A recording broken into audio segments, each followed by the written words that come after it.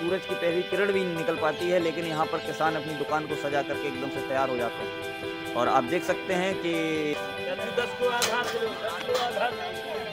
आधा किलो यार कर दो।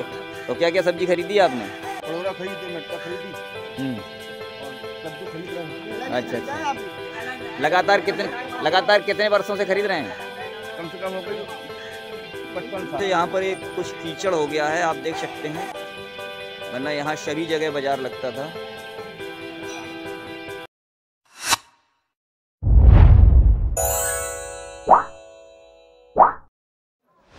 नमस्कार साथियों, मैं आपका दोस्त मंगल कुशवाहा और आपका एक बार फिर स्वागत है आपके अपने चैनल मंगल वेब बढ़ पर तो साथियों, जैसा कि आपको मालूम है, मैं समय समय पर आपके लिए ज्ञान से भरपूर और वीडियो ब्लॉग लाता रहता हूँ। उसी कड़ी में आज मैं फिर आपके लिए ब्लॉग लाइक कर आ रहा हूँ।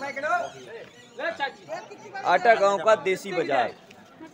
जैसा कि आपको मालूम है कि सभी जगह जहाँ जहाँ पर कस्बे होते हैं, शहर होते हैं, हाट या बाज़ार होते हैं, वहाँ पर तरह तरह के लोग सामान बेचने का काम करते हैं। इसी तरह का एक ये बुंदेलखंड का ग्राम आटा है। ग्राम आटा में प्रति सोमवार और शुक्रवार को यहाँ पर सब्ज़ी का बाज़ार लगाया जाता है।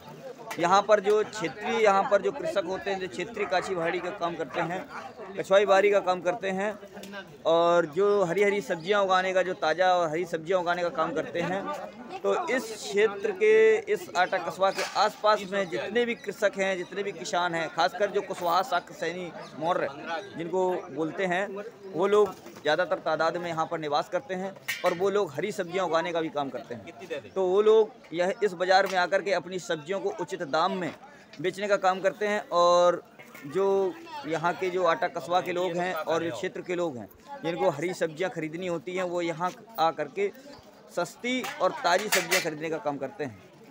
तो निरंतर वीडियो पर बने रहें और यदि आपने अभी तक हमारे चैनल को सब्सक्राइब ना किया हो तो चैनल को सब्सक्राइब करके घंटी वाले बटन को दबा दें, जिससे कि इसी प्रकार से आने वाली वीडियो को नोटिफिकेशन सबसे पहले आप तक पहुँच सके।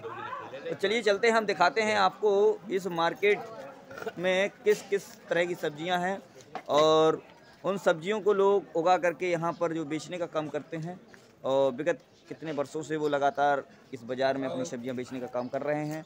और कुछ कस्टमर बंधु से भी हम उनकी प्रतिक्रिया लेने का काम करेंगे और जानने की, जानने का प्रयास करेंगे, जानने की कोशिश करेंगे कि वो कितने समय से इस बाज़ार को देख रहे हैं और लगातार इस बाज़ार से सब्ज़ियाँ खरीदने का काम कर रहे हैं। तो चलिए चलते हैं आगे। तो जैसा कि आप देख सकते हैं, हमारे बिल्कुल सामने एक कृषक बंधु हैं और वो अपनी जो छिलिया है, उसके माध्यम से उसमें ये हरी सब्ज़ियाँ रखे हुए हैं और अपने तराजू वगैरह रखे हुए हैं। और ये जो बैगन वगैरह है और कुल कुछ भिंडी वगैरह हैं, इनकी काफ़ी सब्ज़ियाँ बिक चुकी हैं, क्योंकि थोड़ा समय हो गया और हम थोड़ा लेट हो गए। और यहाँ पर सुबह पाँच बजता है, जब सुबह पाँच बजता है, सूरज की पहली जो किरण है, वो भी नहीं उग पाती। यहाँ पर सूरज की पहली किरण भी निकल पाती है, लेकिन यहाँ पर किसान अपनी दुकान को सजा करके एकदम से तैयार हो जाते हैं। और आप देख सकते हैं कि ये सब्ज़ियाँ लगातार बेचने का काम कर रहे हैं। तो उनसे जानने की कोशिश करेंगे कि विगत कितने वर्षों से इस काम को कर रहे हैं। आपका स्वागत है हमारे चैनल पर। क्या नाम है आपका? नरेश कुशवाहा। नरेश कुशवाहा जी कितने वर्षों से आप यहाँ पर सब्ज़ी बेचने का काम कर रहे हैं? साल से। बीस साल से। और आपने ये जो बैगन वगैरह है जो भिंडी वगैरह है अपने खेत से ही आप उगा करके लाएँ या खरीद करके अरे लाए अपनी खेत अपने खेत से? चलिए बहुत बहुत धन्यवाद। तो ये कृषक बंधु हैं और इन्होंने बताया कि हम सब्ज़ियाँ उगाने का काम करते हैं। और एक एक और दुकानदार बंधु हैं इनसे जानने का प्रयास करेंगे। आपका स्वागत है हमारे चैनल पर। क्या नाम है आपका? बीरबल पाल। बीरबल पाल साहब कहाँ से आए हैं आप?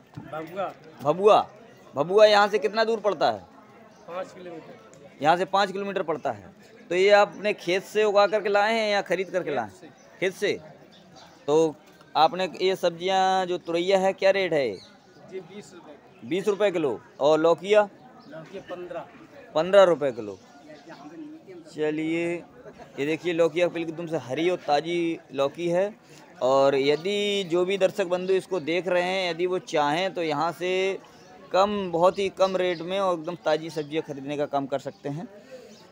तो चलिए, अब हम आगे आपको ले चलेंगे। ये कि प्याज प्याज बेच रहे हैं। एक ये बंधु हैं और एक लौकी और बेच रहे हैं। क्यों भैया, तुम्हारे पास लौकी अकेली है क्या? क्या रेट है लौकी आपकी? बीस? बीस रुपए किलो। चलिए, लौकी बेच रहे हैं। चलिए, इनसे लौकी खरीद लेते हैं। लो, आधा किलो या लौकी करो तुम। हो गई। तो इनसे हमने लौकी ले ली है आप देख सकते हैं एकदम से ताज़ी है और इसको अपने बैग में डाल लेंगे। ये पैसे काट लो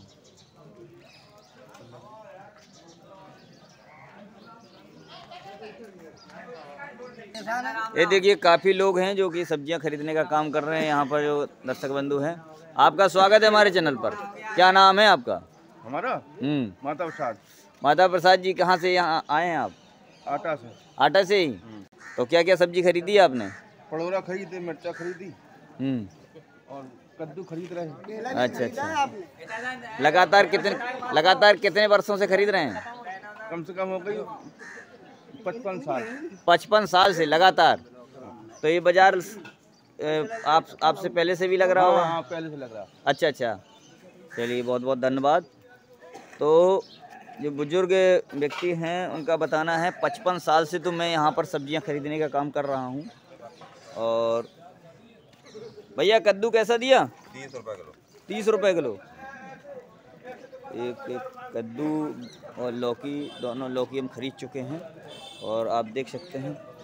यहाँ पर कुछ महिलाएँ भी हैं जो सब्ज़ी खरीदने का काम करती हैं और एक ये हैं दुकानदार बंधु। आपका स्वागत है। कहाँ से आए आप? बबुआ से? तो सब्ज़ी आपकी बिक गई है अभी, बची है? थोड़ी सी बची है। क्या रेट है आपकी तुरैया? बीस रुपए किलो। चलो, आधा किलो दे दो इसी से फिर कहा हम्म। इनसे भी आधा किलो तुरैया लेते हैं। तो आप देखिए। अब बैठे बैठे अरे बैठे काम सब करा कहा भैया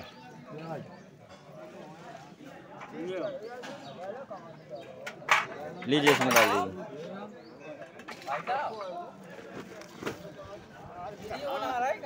हम्म। हम्म। और ये दुकानदार बंधु और हैं और आप देख सकते हैं। आपका स्वागत है हमारे चैनल पर। क्या नाम है आपका? भभुआ से आए हैं आप भी? तो आपने ये अपने आप खेत से लेके आए हैं या कहीं खरीद के लाए हैं? खेत से लाए क्या रेट है आपका ये? ये तीस रुपए किलो है। इसको बोलते क्या हैं? ये रौसा बोलते हैं रौसा बोलते हैं? कितना? तीस रुपए किलो? तीस रुपए किलो। चलो आप ये आधा किलो दे दो। तो आप देख सकते हैं, ये रेवसा है हम तो फ़िलहाल में जानते नहीं हैं, लेकिन एक कृषक बंधु हैं और सभी ये कुशवाहा बंधु हैं।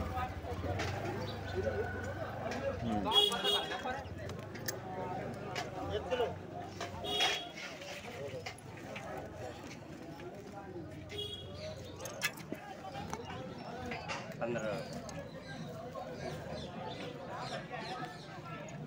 ये लीजिए।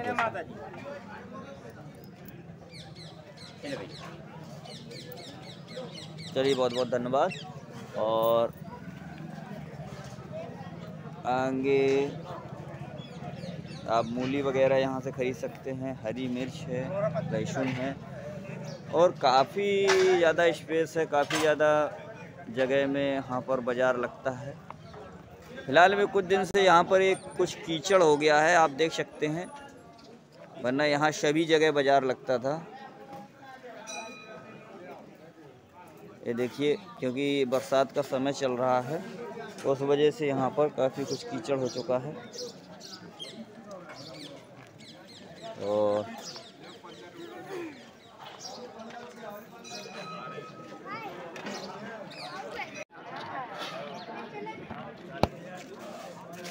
और आप देख सकते हैं यहाँ पर ये तुरैया है लौकी है। वही सारी की सारी सब्ज़ियाँ हैं। इस समय जो सब्ज़ियाँ हैं, वो काफ़ी बिक चुकी हैं। और ये देखिए।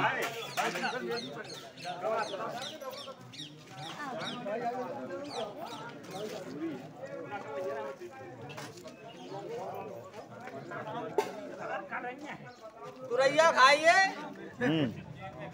काले बैगन। हम्म आपका स्वागत है हमारे चैनल पर। पकड़ो पकड़ो। क्या नाम है आपका? हरन। जी कहाँ से आए आप? आटा से। आटा से? कितने वर्षों से आप यहाँ पर सब्ज़ियाँ बेचने का काम कर रहे हैं? पाँच साल से। पाँच साल से। तो अपने खेत पे ही उगाई है या नहीं खेत की उगाई खेत पे? ताज़ा सब्ज़ियाँ उगाते हैं। तो आपका ये काला वाला बैगन का रेट है? पहले मैं तो चालीस पैंतीस अब बीस। रुपए किलो चल रहा है। आधा किलो दो यार अच्छा अच्छा सा। लेकिन किरा मत दे देना। बचा है। किरा बचा है तो फिर रहने दो। और भिंडी कैसी दी बीस है? छठा माल बीस बेचते हैं फिर आधे में। अच्छा अच्छा अच्छा अच्छा। चलो फिर। छठ जाता है तो आधे में बेचते हैं। अच्छा अच्छा। आधा किलो हो जाएगी? ये देखिए यहाँ पर लौकी वगैरह है। और कुछ सब्ज़ी ये खरीद के लाए हैं या खरीद ली है? व्यापारी का व्यापारी का है माल। जैसे व्यापारी वगैरह भी यहाँ पे आते हैं जो किसानों से क्या है कि थोक में सब्ज़ियाँ खरीदने का काम कर रहे हैं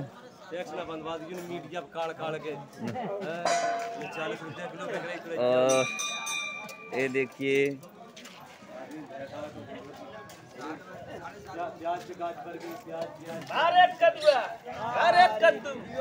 क्या रेट है कद्दू कद्दू दस को आधा किलो दस को आधा किलो। आधा किलो यार कर दो। दे दो आधा किलो। ले ज़्यादा कर दो भैया।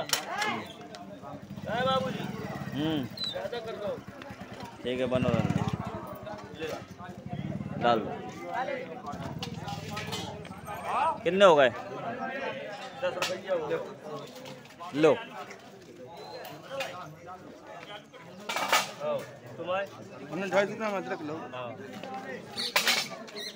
और आप देख सकते हैं, काफ़ी कुछ जो कस्टमर बंधु हैं, यहाँ से जो हरी सब्ज़ियाँ लेने का काम कर रहे हैं। काफ़ी जो ग्रामीण हैं।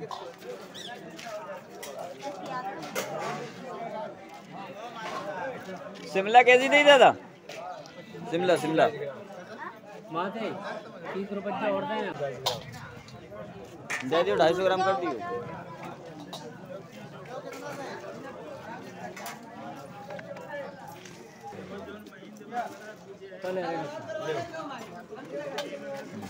आलू के लिए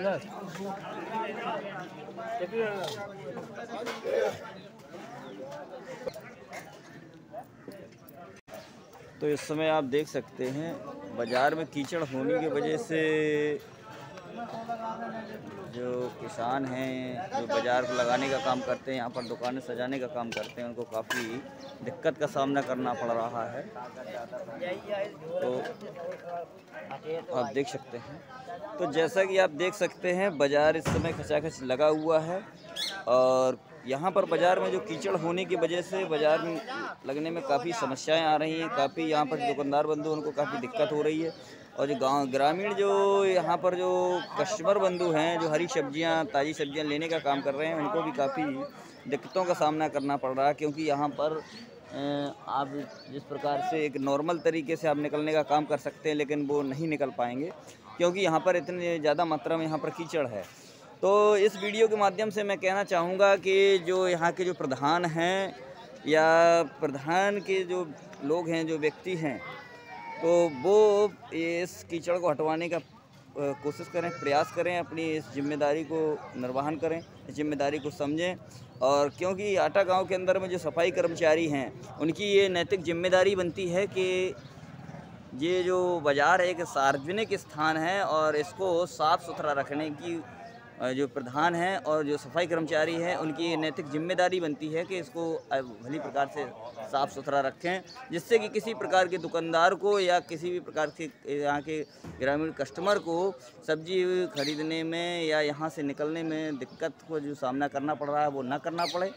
और इसी के साथ में यदि आपको वीडियो पसंद आया हो तो इसको लाइक कर दें, कमेंट करके बताएँ वीडियो कैसा रहा। और यदि आपने अभी तक हमारे चैनल को सब्सक्राइब ना किया हो तो चैनल को सब्सक्राइब करके बगल में घंटी वाले बटन को प्रेस कर दें, दबा दें कि जिससे इसी प्रकार से आने वाली वीडियो को नोटिफिकेशन सबसे पहले आप तक पहुँच सके। चलिए फिर मिलते हैं किसी नए वीडियो, नए टॉपिक के साथ में, तब तक के लिए नमस्कार।